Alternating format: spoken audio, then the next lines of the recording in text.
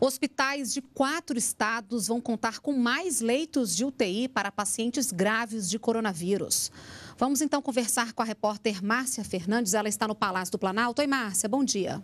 Oi, Renata, bom dia para você, bom dia para todos. Pois é, Renata, o Ministério da Saúde habilitou mais 632 leitos de UTI para atendimento exclusivo a pacientes com coronavírus em quatro estados do país: Alagoas, Amazonas, Santa Catarina e Pernambuco. Todos, é, o Ministério da Saúde, o governo federal, vai repassar R$ 1.600 é, para cada um desses estados e municípios para que eles possam cuidar desses leitos, manusear, cuidar da, do manuseio dos equipamentos também o pagamento dos profissionais. Desde o mês de abril já foram habilitados 2.890 leitos de UTI é, em 21 estados do país e também no Distrito Federal. Um investimento do governo federal de 418 milhões de reais. E olha, o Ministério da Saúde adotou uma nova metodologia para a divulgação dos boletins com os dados do novo coronavírus. Agora vão ser duas divulgações por dia, uma às três da tarde e outra às sete da noite. E no último boletim foram atualizados os números em relação ao estado do Amazonas. Esse estado é o quinto mais atingido no Brasil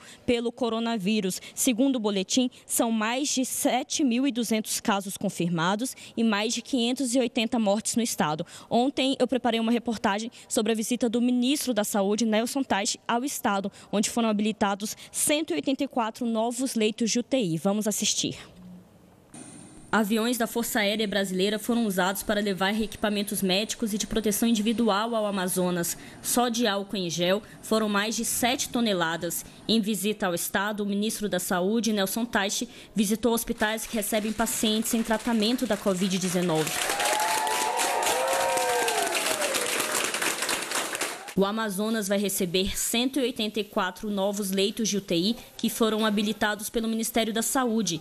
Nelson Taishi afirmou que o Hospital de Combate à Covid-19, instalado na Newton Lins, zona centro-sul de Manaus, poderá ser ampliado com apoio do governo federal. Antes da gente pensar num hospital de campanha, tem que pensar em como otimizar o funcionamento daqui.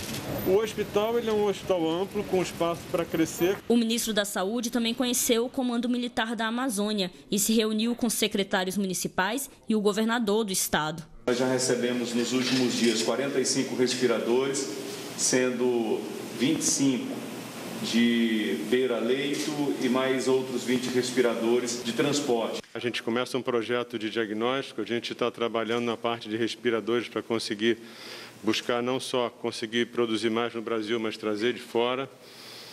E com isso a gente de mãos dadas, realmente, isso é uma coisa verdadeira, isso não é uma.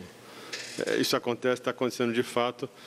A gente espera fazer com que esse momento a gente consiga salvar o maior número possível de vidas. 267 profissionais foram contratados pelo Ministério da Saúde para trabalharem no enfrentamento à pandemia da Covid-19 no estado do Amazonas. São médicos, enfermeiros, técnicos de enfermagem, farmacêuticos, todos eles fazem parte do programa O Brasil Conta Comigo, que faz o cadastro e o treinamento de residentes e estudantes para trabalharem no combate à Covid-19 a ajuda que o governo federal tem dado nesse sentido, de encaminhar equipamentos, de encaminhar EPIs, é, inclusive de encaminhar também pessoal, recursos humanos, de encaminhar testes, de encaminhar medicamentos. É, tudo isso daí tem sido fundamental para que a gente possa ampliar essa nossa capacidade de atendimento.